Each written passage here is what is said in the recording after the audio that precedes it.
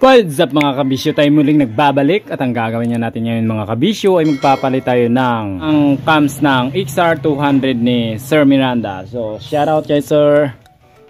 Yan. Ito kabisyo yung XR200 na to. Ito rin yung ginawa natin nung hindi ako nagkakamali mga September o October mga kabisyo. Yung ginawa nating kinonvert natin yung likod niya sa CRF. Yan. So pinantatanggal niya na kabisyo yung kanyang decals na nabili. So ngayon nagka-problema yung makina niya eh gawa ng hindi umakyat yung langis kabisyo. Ngayon papalit tayo ng kanyang cam. So mga kabisyo ito na nga yung kanyang cam ano. Na-order ito ni sir sa sa mo to na-order sir? Shopee? Sa, ayun sa price. Oo, yan.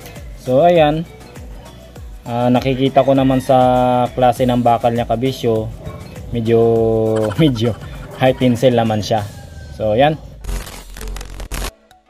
Ibababa lang muna natin kabisyo yung makina no, gawa ng ano talaga hindi tayo makakakilos diyan at saka hindi mo mahugot kabisyo yung ano niya no, yung takip ng kanyang head. So talagang ibababa ibababa natin yung makina and then dito na natin mamaya kakalikutin at papalitan ng cam. So balikan ko kayo kabisyo kapag ka na ibaba na natin para mapaikli lang yung video natin ano. One hour later. Ayan na mga kabisyo na ibaba na natin yung makina niya at yan na siya mga kabisyo. So papakita ko sa inyo yung tama ng cam niya no. So ito na siya mga kabisyo. Yan focus natin ano. Ang tagal mag-focus. Ayan kabisyo. Laki ng kinainan ng cam niya. Sa kabila hindi gaano. So kapag ka ganito na yung kain kabisyo ng cam nyo, for sure talaga. Ganon din yung rocker arm. Yan. Kinainan na rin mga kabisyo ayan oh. Oh, tumalas na siya. Yan, so papalitan na rin natin yung mga rocker arm niya kabisyo. Pero bibili ni muna tayo sa tindahan gawa ng cam lang kasi yung na-order natin kabisyo no. Cam lang yung na-order ng mga yari. Ngayon tatakbuhan muna natin dito sa tindahan.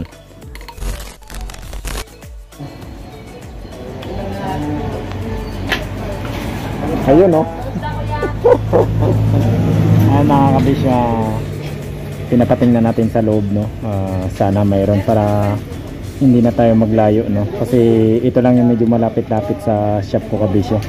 Kasi kapag ka doon tayo bumili sa CBPP okay rin naman doon kasi lang haba kasi kabisyo ng pila doon.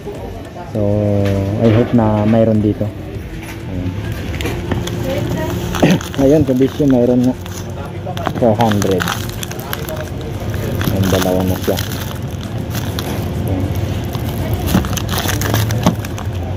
kukunin na natin to kabisyo para hindi na tayo maglayo. Ah, 400 lang siya kabisyo. Okay. Kunin ko te. Oh, shout out kaya. Yun, kitang kita ka. Kaway.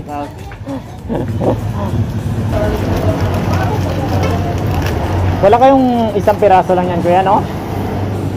Dalawa, ta dalawa talaga, no?